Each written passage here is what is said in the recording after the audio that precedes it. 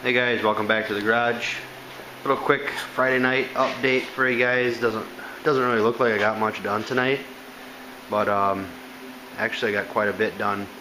Uh, all the seam sealer that I can get at, that I can see. I cleaned all that out.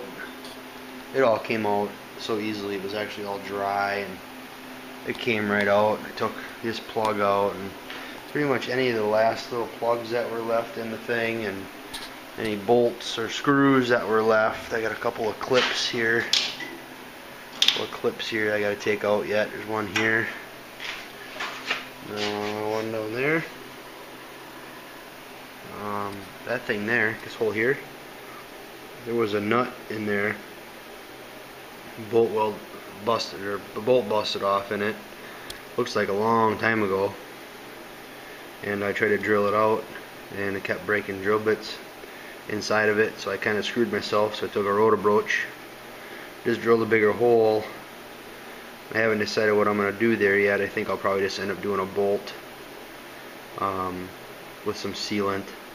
These will all have to get sealant anyways because they're to the inside. So uh, no big deal. It's for the battery tray. Um, not a big deal. Um, another cover blew the inside of the cowl all out and good lord that was gross. Um, but yeah just sealer and then all the gook from around the windows. Actually just the windshield and the side the quarter glass. Um, you roll this thing down a little bit. All that gook. This is you know that body sealer actually surprisingly a lot of this was actually really pretty soft yet, pretty gummy. But I cleaned it out the best I could all the way around. I did find a rust hole in the roof, which kind of kind of bums me out. But um, I'll show you here. I'll spin Tessie a little bit here and show you. Yeah, little hole in the roof. Kind of knew once I started cleaning the seam sealer out you know even these spots here look a little bit suspect. But um I'm not gonna panic. This isn't this car is not intended to be a show car. Um but it'll look nice. I mean it's not it's not that big of a deal.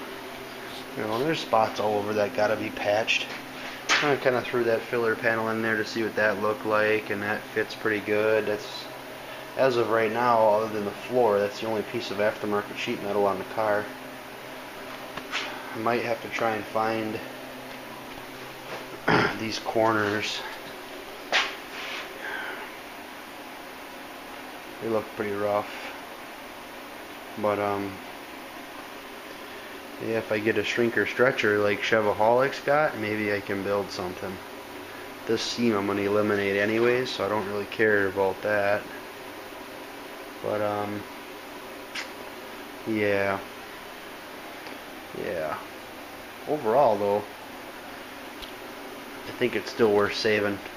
I talked to the guy with the 57 wagon today, and um, he is not actually willing to sell the whole car, which I guess is good and bad. I guess that means I'm not going to spend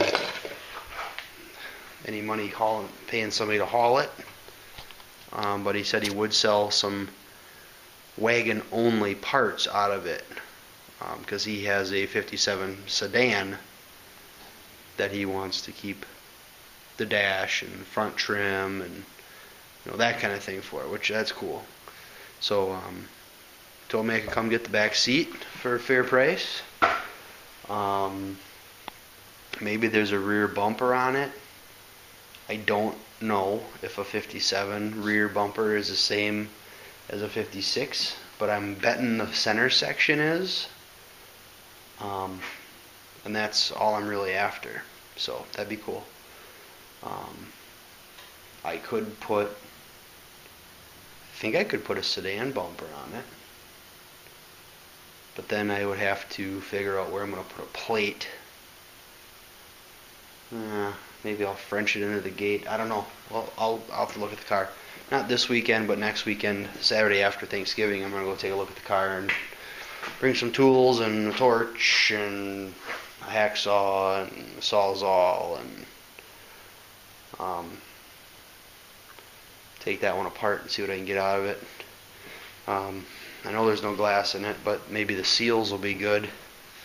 Um, I could maybe uh, grab these couple seals that go in here. And some of the hardware that goes in here, there's like clips. I don't know, we'll see.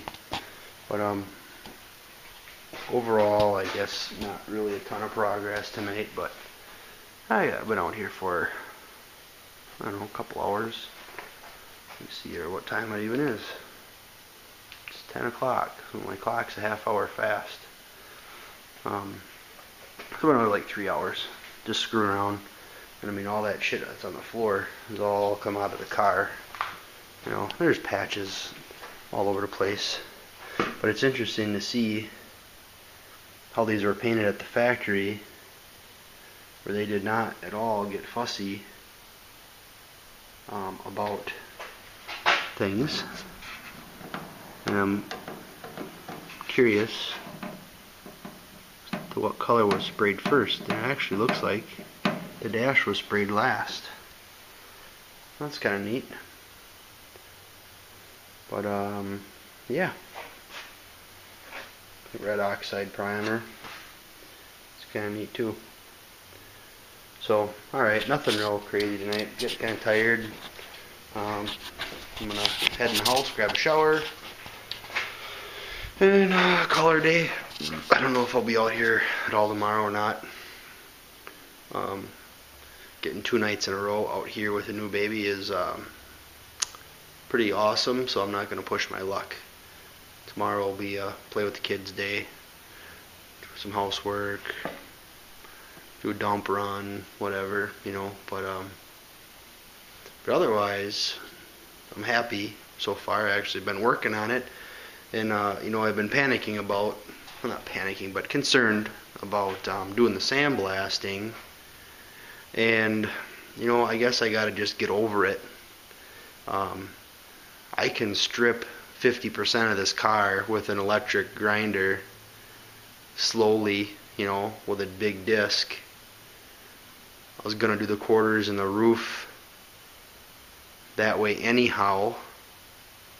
So realistically, you know, what's stopping me from getting the roof or at least the quarters stripped and body worked and primed and then uh, I can spot blast I can do the blasting after the fact just be careful and then give the whole car another coat um, I do my little patching here and there and whatever that I can see now I'm sure there's gonna be more patching after I blast that's just how it is but um, unless I happen to get a really nice weekend in December I don't think this thing's gonna see the sandblaster until spring now which whatever, that's fine. I got I'll get a frame and get that going and get that painted and put back together and that'll be awesome too. So alright, that's enough. I'm ready to go in. So have a good weekend everybody and we'll see you next time. Thanks for watching.